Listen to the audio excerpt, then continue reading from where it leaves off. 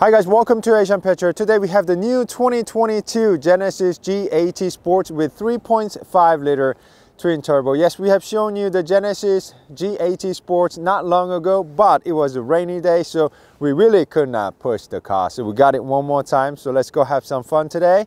And you know, this is a red one.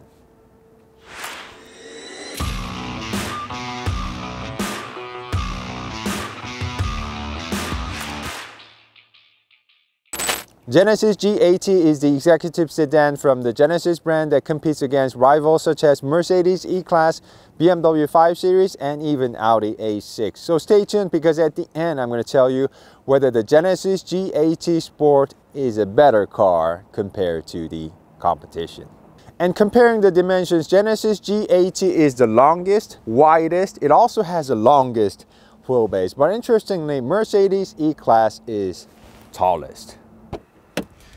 I'm a little bit worried about the headroom, so let me just show you the second row seats first. You guys all know I'm about 6'2", and even soft closing doors. Uh, legroom is plenty, but for my height, I think headroom is a little bit limited. Um, window comes down not all the way, but almost all the way. Double laminated, and love the fact that we're given manual sunshade for the side. And, and we also have walk-in device for lazy people like me. Uh, two air vents climate control down here.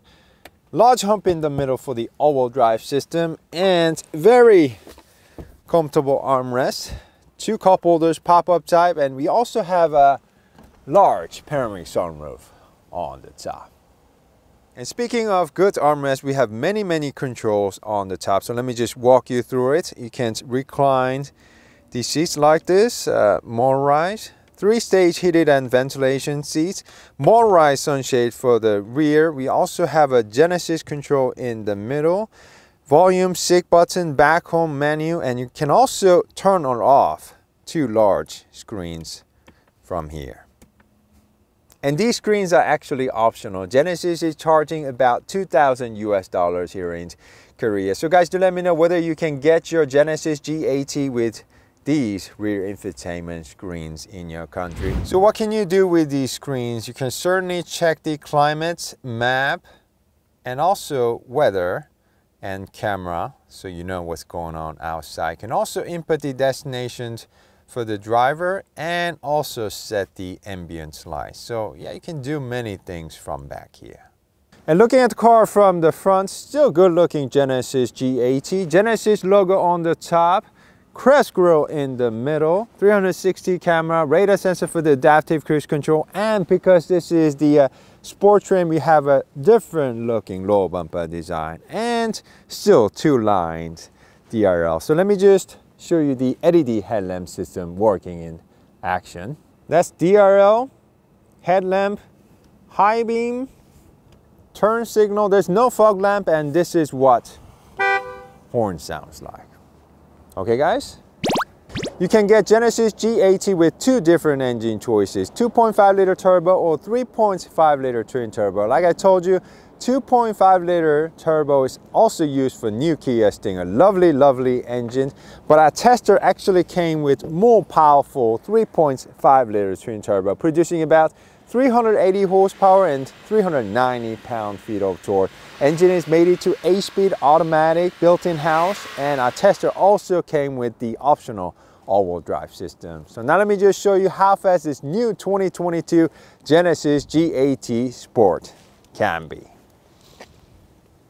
We also have launch control because this is the uh, sports trim. It's actually very easy to use. Just need to put the car into sports plus mode, which is also new for sports trim. Need to take one more ESC off, two stage. Foot on the brake, full throttle, system ready, go!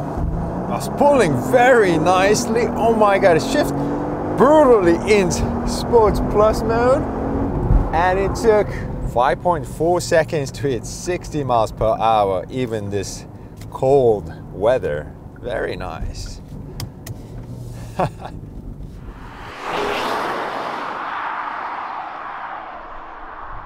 And looking at the car from the side, really love how this line starts from the headlamps, carried all the way up to the tail lamp system and still lovely looking two lined side repeaters.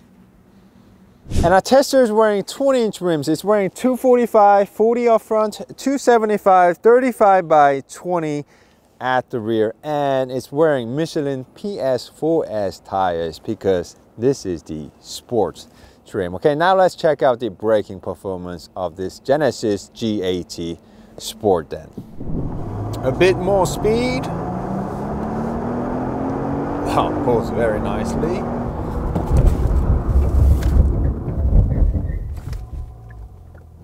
It took Genesis G80 Sports only about 107 feet to a complete stop. Felt stable and confident. And yes, if you ask me, this Genesis G80 Sports feels much secure compared to Genesis GV80 because of lower center of gravity. Oh my god! you can really feel the rear steering wheel working in action.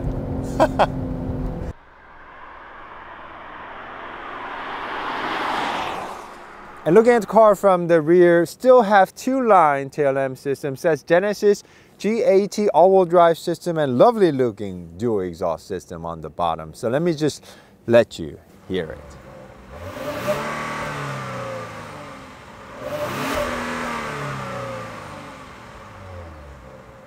Yeah, so it's not that loud. You know, this is a Genesis. So if you want something louder, I suggest you go with an aftermarket exhaust system and trunk this is how you open the trunk. Trunk seems to be quite large, but because the second rows is reclined, the second rows do not fold. So we're just given a passage through in the middle. Okay, now let's go out and drive this new 2022 Genesis G80 Sport then. Not much has changed from the interior. We still have three-dimensional 12.3 inch gauge cluster. You can set it to 3D like this, but not really big fan because sometimes it just makes me dizzy. And to the right, we also have 14 points, 5 inch large screens, which also shows you augmented reality turn by turn directions. And you know, it's quick to respond and really great graphics. First, I really did not like this Genesis control, but as I used it more and more, yeah, beginning to really like it because screen is sort of far away from where I'm sitting. What about interior space? Well, there's plenty of legroom, but headroom is somewhat limited. I'm about 6'2", and my hair is just brushing against it. So if you're taller than me, make sure you have a seat on the driver's seat and make the decision.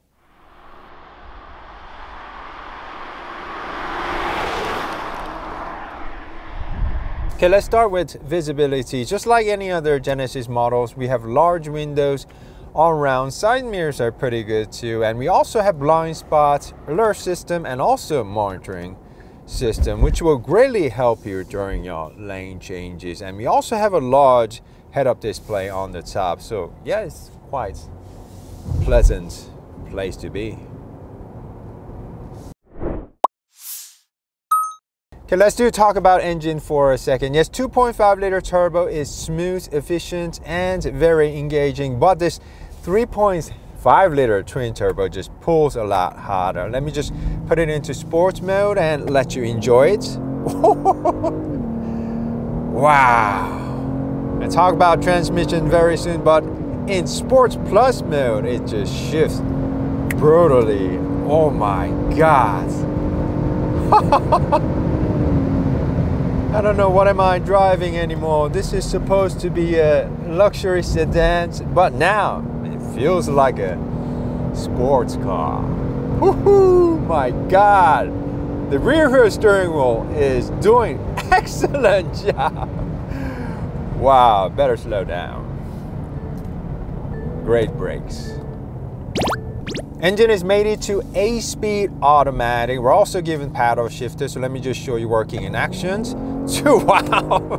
Three, four, five, six, seven, eight, seven, six, five, four, three. So yes, it's shifting very quickly. I'm sure you guys are more familiar with uh, ZF 8-speed automatic but this is built-in house, 8-speed automatic. I think it's very close to ZF's 8-speed automatic and in Sports Plus mode, I think it's shifting a little bit tougher. Oh my God. I really like, like this 8-speed automatic. Woo! That was a good run. Okay guys, let's try a few corners. Uh, let's go with third gear sounds good. I really look forward to see the uh, rear steering system. Oh my god, it's taking very nice. Oh my god. Oh wow. PS4S tires and rear steering system and everything is just making this car turn. Uh, one little complaint about the Mercedes system is that the ESC engages too early, ruining all the fun, but not with this uh, Genesis G80 Sport. I mean, I'm really loving the uh, rear rear steering system. It's so effective, um, and the Michelin PS4 S tire, you guys all know, it's just gripping the hell out of the uh, the, the road and so fun. Let's try it one more time. Oh my God. Okay, let's try one more time on this hard left. It is beginning to snow a little bit, but wow. oh my God, ESC and everything. All-wheel drive system and even reverse steering, steering system and everything is making this car stick to the ground and Get this, I think this car handles even better than the uh, Kia Stinger GT, probably because of the rear wheel steering wheel system. So if you love performance, if you love to drove your cars around, if you can get the uh, sport trim, um, please do get it. Um, it's just totally different car with the rear wheel steering wheel system and it feels very stable even on very very high speeds and great brakes very stable. What was Genesis thinking building this car? Why didn't you just make a coupe out of this? That'd be much better. Oh my god. Let's also check out the efficiency of this new 2022 Genesis G80 Sport. It has returned about 19 miles per gallon in the city and over 32 miles per gallon on the highway. So it's actually better than I thought. But if you want better efficiency, then you should really go with 2.5 liter turbo. But I like this much better.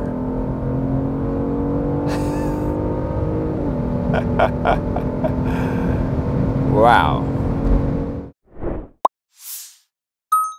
And to answer the question, you know, design is quite subjective, but I think Genesis G80 just comes with more features. And this sport trim, I think, handles better than the competition with rear wheel steering wheel system. So if you want more features, better handling car, then you should definitely go with the Genesis G80 Sport. Alright guys, this has been a test ride with the Genesis G80 Sport. Hope you guys enjoyed it and we'll be back with much, much more. So if you love cars and car reviews, please do support us by subscribing to our channel and also hit that bell notification so you don't miss out in the future. Thank you guys. See you soon. Stay healthy and bye-bye.